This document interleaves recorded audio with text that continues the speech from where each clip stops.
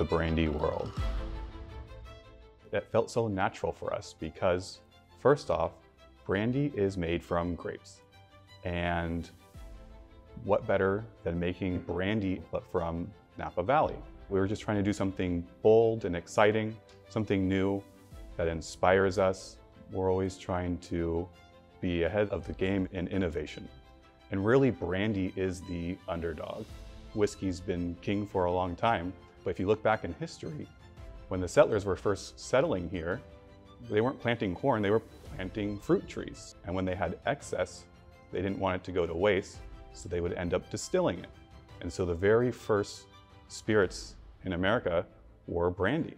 That kind of goes right back into sustainability, where we don't want any fruit to go to waste. We want to be able to use everything that we produce here. And brandy was just such a natural addition to what we are all about here at V. Sattui. Our first batch of brandy that we've created here, we started with fruit from our Solano property. That is the Valdiguié variety, or we call it Gamay here. And we harvested that fruit and turned it into wine like we do with all of our grapes. We distill that. This first batch is column distilled, and that brings the alcohol content to a higher percentage. It takes away a, a, little bit more of those impurities, a little bit more of a clean slate for when it goes into oak barrel. Now, the brandy is actually clear when we first distill it, and all the flavor and color come from it being in the oak barrel. The oak barrels that we have selected for our first batch are barrels from our Solera system that we put our Madeira in. And so really, the wines that have been in these barrels can be dated back all the way to 1885 from the beginning of our Solera system. And this flavor is just integrated into these barrels and it's really something special that can be added to our brandy. And it just has these wonderful flavors of caramel and hazelnut and it really shows through on the brandy. We're not adding any other additives to this. We don't add any flavoring, any sulfur. This is 100% grapes from our own estate vineyards. In the world of brandy, my idea behind it is I don't want it to be taste like it's flavored brandy. I do want it to still taste like brandy. This is definitely going to become a part of our V. Sattui product line. So our first batch is only 70 cases. And so it's going to fly off the shelves for sure. We're really excited about it. So here we are at Lock and Union Distillery. This is our partnering distillery to help us craft this brandy and bring it to life. So our process here for bottling this brandy is we bring in the glass. The next step is we're going to insert the bottle into our filler, and that's all just gravity fed. Since this is hand bottled, we want to make sure that the fill level is appropriate, so we adjust slightly with an eyedropper. And then from there, we'll add the bar top.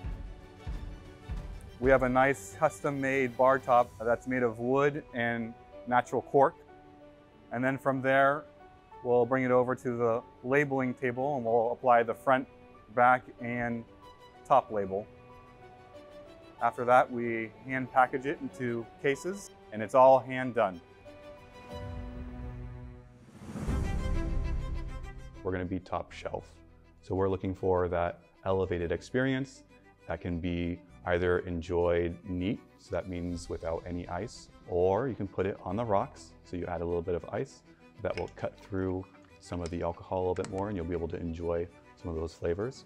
Or this can also be utilized in your craft cocktails. Some of my favorite cocktails that I have with our brandy are old fashions or uh, Napa Mule. And starting with a higher end brandy, you are introducing all those amazing flavors into your craft cocktail as well. We're excited to showcase some of the recipes that we came up with with all of you.